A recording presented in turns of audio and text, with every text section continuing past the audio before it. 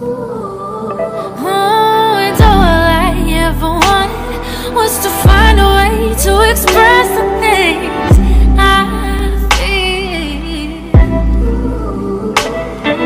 So much I don't get, but times like this just make sense. I dig deep and soak you all